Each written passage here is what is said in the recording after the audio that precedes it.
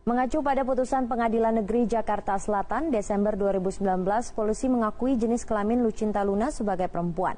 Dalam konferensi persnya, Lucinta Luna meminta maaf dan mengimbau masyarakat untuk tidak menggunakan narkoba.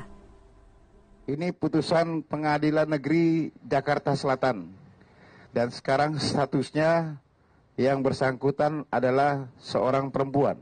Dengan nama diganti dari MF menjadi AP saya pribadi atas nama Hailuna Putri atau bisa dibilang Lucinta Luna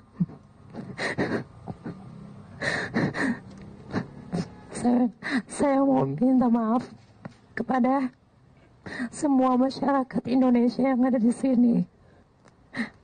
Jangan mengikuti langkah-langkah seperti saya. Tolong jauhi narkoba,